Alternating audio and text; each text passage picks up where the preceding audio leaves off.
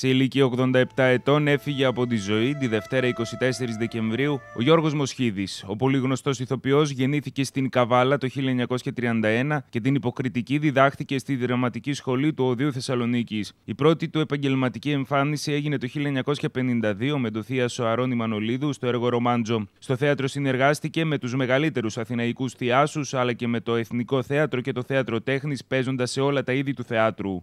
Ο Γιώργος Μοσχίδης διακρίθηκε σε παραστάσεις αρχαίου δράματος και αττικής κωμωδίας. Στο σινεμά ξεκίνησε το 1958 με την ταινία «Διακοπές στην Αίγινα». Την ίδια χρονιά έπαιξε στο ιστορικό δράμα του Γρηγόρη Γρηγορίου «Ο Μιμίκος και η Μαίρη». Είχε λάβει μέρος σε 43 ταινίες. Μερικές από αυτές είναι «Το κρίμα το μπόι σου», «Τι 30, τι 40, τι 50» με τον Λάμπρο Κωνσταντάρα, «Αγάπη μου παλιόγρια», με Κώστα Βουτσά και Ξένια Καλογεροπούλου και τον Αράπη και αν τον πλένεις. Πάρα πολύ ευτυχισμένο. Ε, τότε ας πιούμε στην ευτυχία όλων μας. Αυτό το αρκουδάκι ποιος θα το πάρει; Κρύα μ' άρεσε, Αναγία μου.